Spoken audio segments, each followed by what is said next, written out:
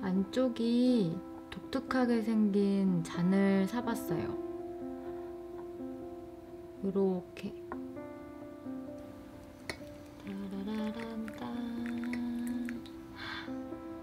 아.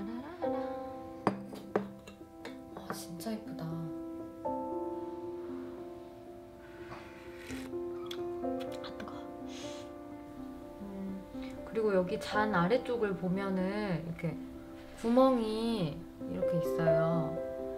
이게 잔을 이렇게 이중으로 이중으로 되어 있어가지고 만졌을 때 너무 차갑거나 너무 뜨겁거나 그러지 않대요.